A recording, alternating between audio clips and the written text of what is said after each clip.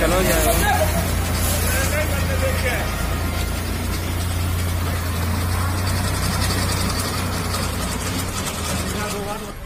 Sir अपना परिचय जी मैं सुनील बाबू गुप्ता नगर पालिका अध्यक्ष बहा जिला आगरा। जी। क्या कार्यक्रम चलाया गया सर?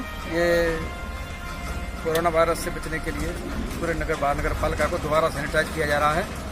माननीय प्रधानमंत्री जी के आह्वान पर माननीय योगी आदित्यनाथ जी के निर्देश पर कोई प्रभावित ना हो कोरोना से।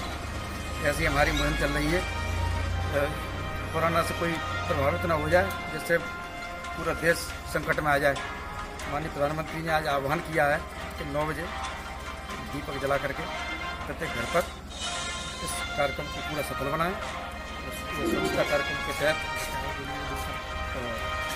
और जन- जनता से आह्वान किया जाता है कि वे इसी से दूरी बनाए रखें अपने एक मीटर की।